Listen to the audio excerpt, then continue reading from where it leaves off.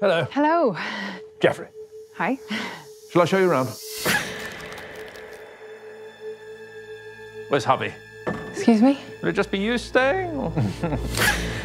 Apple from the garden? Mustn't do that. Forbidden fruit. I'm joking.